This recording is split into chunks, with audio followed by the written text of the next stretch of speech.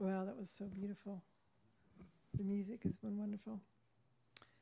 So, this Friday, March 8th, is International Women's Day. And March is Women's History Month. And I was actually involved in celebrating the first Women's History Week in Napa schools in the late 1970s. One of my long-time oh. okay, one of my long-time passions has been promoting equality for women and girls. So I decided to that this service um, be devoted to women, the Social Justice Sunday. Uh, this topic supports three of our UU principles the inherent worth and dignity of every person, justice, equity, and compassion in human relations, and the goal of world community with peace, liberty, and justice for all. So, how many of you feel women and men are now treated equally in the United States? In, in, in the world?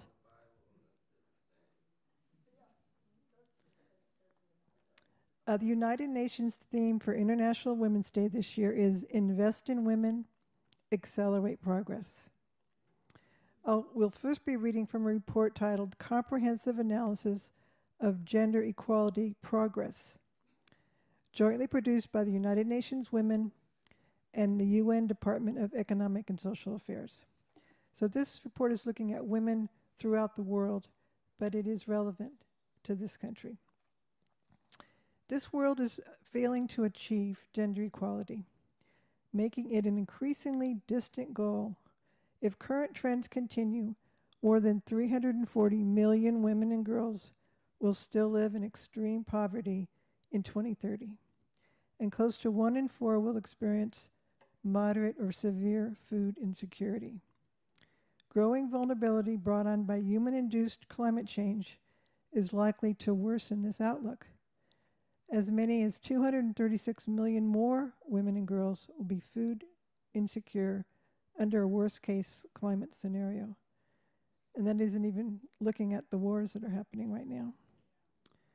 This report advocates for the United Nations to spend more money on women's programs throughout the world. That's the purpose of their report. So, what are the benefits of women's economic empowerment? First, women's empowerment is central to realizing women's rights and gender equality. So they need economic empowerment to achieve that. When more women work, economies grow. Increasing women's and girls' educational attainment contributes to women's economic empowerment and more inclusive economic growth for all. But for the majority of women, significant gains in education have not translated into better labor market outcomes. So they need to focus more on, on labor as well. Also, women's economic equality is good for business. Companies greatly benefit from increasingly employment and leadership opportunities for women, which is shown to increase organizational effectiveness and growth. Uh, now, looking at the world of work for women, gender differences in laws affect both developing and developed economies, with women in all regions. Globally, over 2.7 billion women are legally restricted from having the same choice of jobs as men. Of 189 economies assessed in 2018, 104 still have laws preventing women from working in specific jobs. 59 have no laws on sexual harassment in the workplace, and in 18 husbands can legally prevent their wives from working. Also, women remain less likely to participate in the labor market than men around the world. Labor force participation rate for women aged 25 to 54 is 63% compared to 94% for men. Globally, women are paid less than men. Women earn 77% of what men earn. Women spend more than twice the time on unpaid care and domestic work than men. Unpaid care work is essential to the functioning of the economy. Women are still less likely to have access to pensions, something I hadn't thought about, unemployment benefits. Globally, an estimated nearly 40% of women in wage employment do not have access to this social protection. Women are less likely than men to have access to financial institutions or have a bank account. Women are less likely to be entrepreneurs. Women are constrained from achieving the highest leadership positions. Only 5% of Fortune 500 CEOs are women. Lastly, violence and harassment in the world of work affects women regardless of age, location, income, or social status. And regarding sustainable development, almost a third of women's employment globally is in agriculture. Women farmers have significantly less access to control over and ownership of land.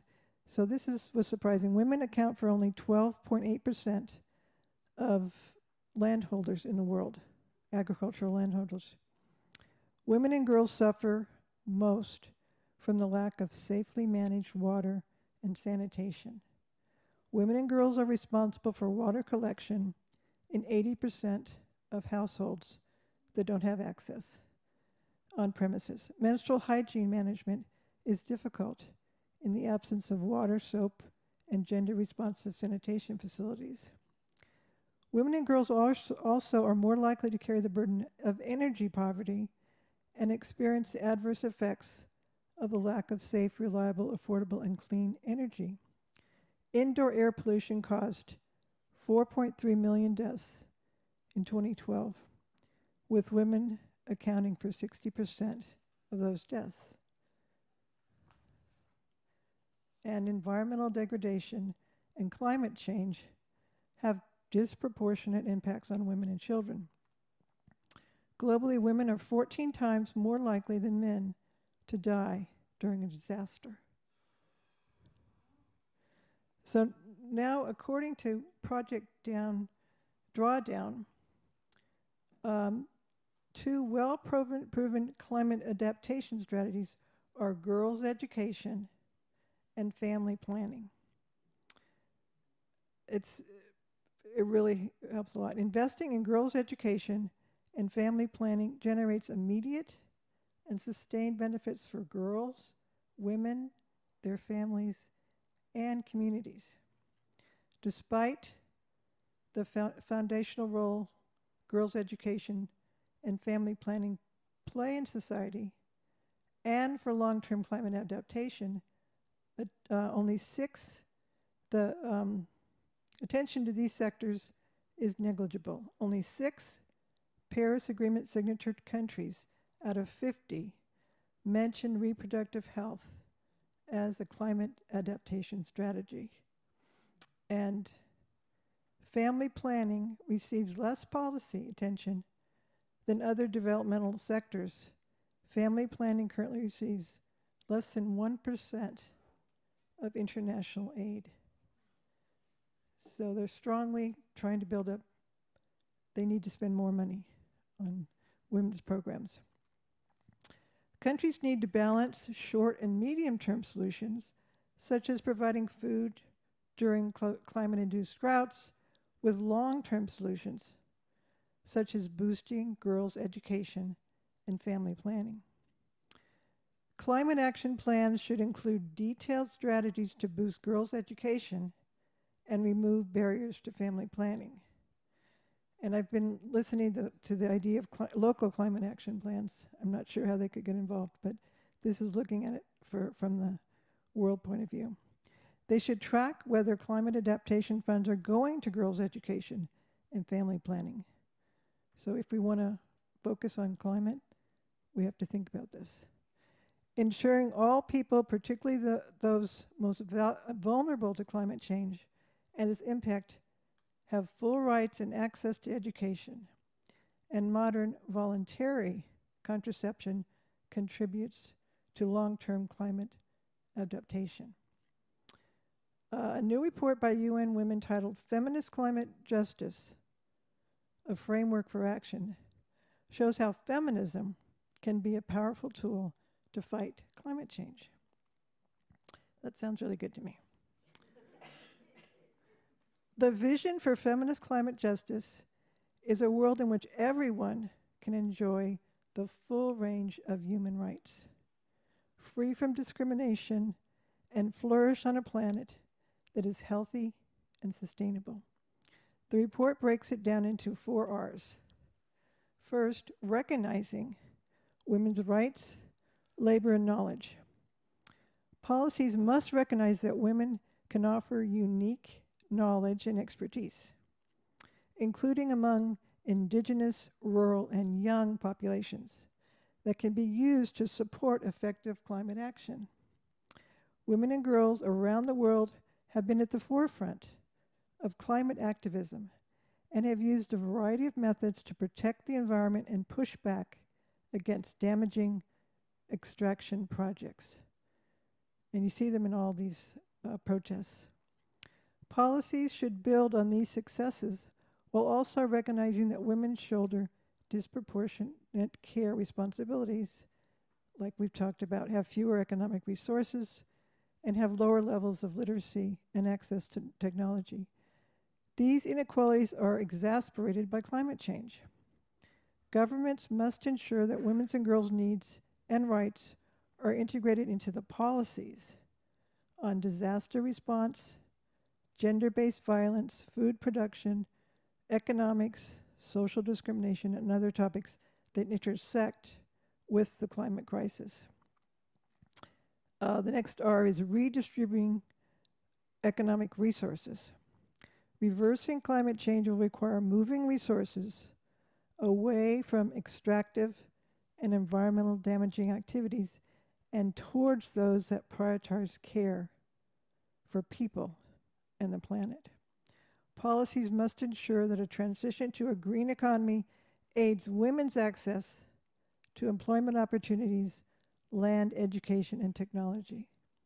For example, school based food programs not only help to alleviate some of women's unpaid care work by supplying children with nutritious food, but can further support feminist climate policy by sourcing meals from small scale, environmentally friendly women farmers. Third, re representing women's voices.